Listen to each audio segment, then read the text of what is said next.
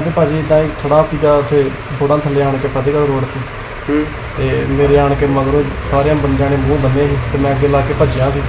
ਤੇ ਮੈਂ ਆਪਣਾ ਬਚਾਅ ਕਰਦੇ ਮਾਰੇ ਮੇਰੀ ਦੁਕਾਨ 'ਚ ਕੋਈ ਵੜਨ ਦੀ ਕੋਸ਼ਿਸ਼ ਕੀਤੀ ਤੇ ਮੈਨੂੰ ਦੁਕਾਨ ਤੋਂ ਬਾਹਰ ਕੱਢਣ ਦੀ ਫਿਰ ਉਹਨਾਂ ਨੇ ਕੋਸ਼ਿਸ਼ ਕੀਤੀ ਦੁਕਾਨ ਤੋਂ ਬਾਹਰ ਕੱਢ ਕੇ ਉਹਨਾਂ ਮੇਰੇ ਸਿਰ 'ਚ ਦਾਤਰ ਤੇ ਬੈਸਬਾਲ ਮਾਰੇ।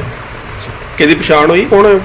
ਪਛਾਣ ਤੇ ਭਾਜੀ ਇੱਕ ਭੋਲਾ ਹੀ ਰੋਕਿਆ ਵਾਲਾ ਬਸ ਮੈਨੂੰ ਕੋਈ ਪਛਾਣ ਹੈ।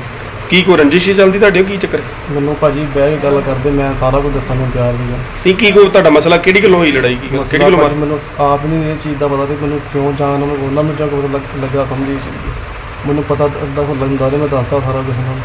ਜਾਂ ਮੇਰੀ ਆਪ ਨੂੰ ਗਲਤੀ ਹੁੰਦੀ ਮੈਂ ਸਾਰਾ ਆਪ ਦੱਸਦਾ ਕਿ ਮੇਰੀ ਗਲਤੀ ਹੈ ਇੱਥੇ। ਕੀ ਮੰਗ ਕਰਦੇ ਹੋ ਹੁਣ?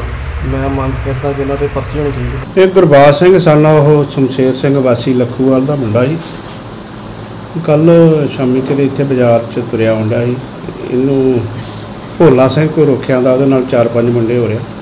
ਉਹਨਾਂ ਨੇ ਸੱਟਾਂ ਮਾਰੀਆਂ ਨੇ। ਤੇ ਹਸਪਤਾਲ ਦਾਖਲ ਹੈ ਹੁਣ। ਇਹਦੀ ਐਮਐਲਆਰ ਦੇ ਮੁਤਾਬਕ ਜਿਹੜੇ ਬੰਦੇ ਦੋਸ਼ੀ ਆ, ਉਹਨਾਂ ਦੇ ਕਾਨੂੰਨੀ ਕਾਰਵਾਈ ਕੀਤੀ ਜਾਊ।